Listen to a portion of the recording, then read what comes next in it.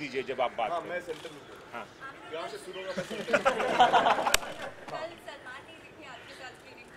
नहीं सलमान तो नहीं थे लेकिन उन पे उनके साथ मेरे फ़ोन पे मेरा संपर्क था। तो मैं उनको बता रहा था मुझे कैसी लगी।